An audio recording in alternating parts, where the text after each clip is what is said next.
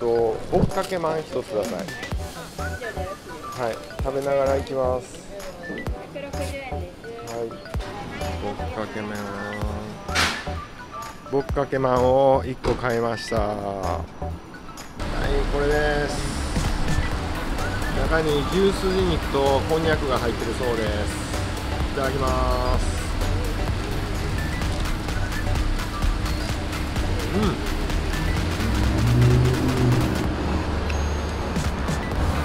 結構食べやすいサイズでめっちゃ美味しいです。ここのこういう肉玉めっちゃ有名ですよね。めっちゃ美味しい、